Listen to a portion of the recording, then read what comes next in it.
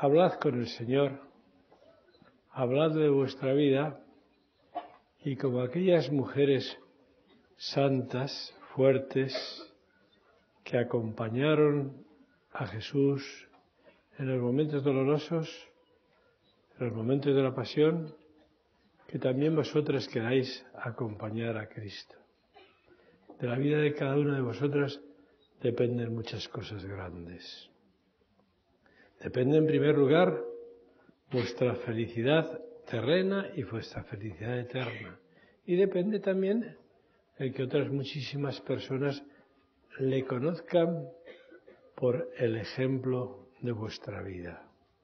Pensad que aquellas que acompañaron a Cristo en el Calvario, pues tendrían quizá un poco más de edad que vosotras, pero tampoco mucho más. Y fueron las que han dejado en la tradición de la Iglesia ese ejemplo de que a Cristo no se le puede dejar solo. No necesitaba de los hombres y de las mujeres, pero al mismo tiempo quiere que las mujeres y los hombres estén cerca de su entrega de su amor para vivir con Cristo. También quería hablaros de que en Opus Dei, porque hemos conmemorado los 25 años de la, obra, de la elección de la obra Emperatura, estamos celebrando un año mariano.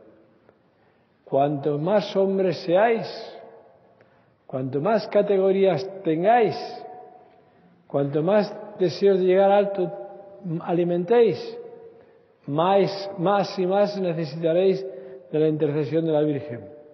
Una madre que nunca nos suelta, y que siempre presenta nuestras vidas delante del Señor si se las ofrecemos.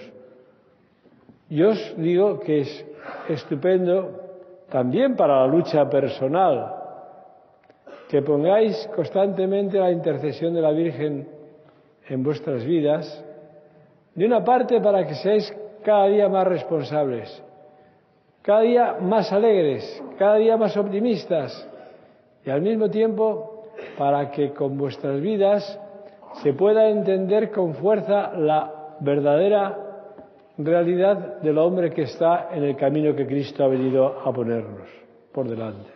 No tengáis miedo a Cristo.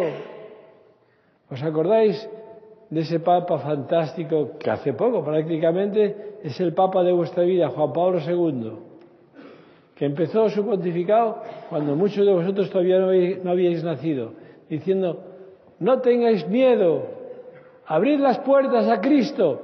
Y gracias a esos gritos y a ese trabajo y a esa oración y a esa mortificación, fueron cayendo tantos muros que separaban a los hombres entre sí y que separaban sobre todo a los hombres de Dios.